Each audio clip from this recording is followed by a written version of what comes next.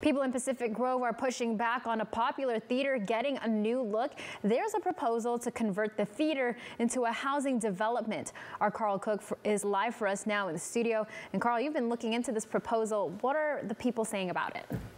So the Pacific Grove City Council decided to actually table the item, and a group of people were actually excited since they were not in support of the change.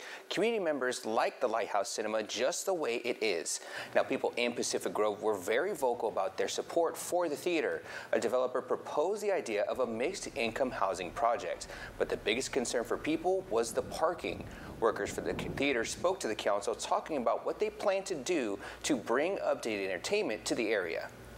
Town PG, there's really not much here but restaurants, which we plan on partnering with and doing dinner hours at Lighthouse. We plan on acquiring an alcohol license so that we can also have something for everyone to do. We want to be somewhere that's fun, exciting, and entertainment now, according to the developer proposing the housing project, the proposal would help the city meet its regional housing requirements determined by the California Department of Housing and Community Development. Now, even though the process doesn't obligate local governments to build out the housing, it does mandate they demonstrate appropriate zoning, development regulations, and policies to support home building goals.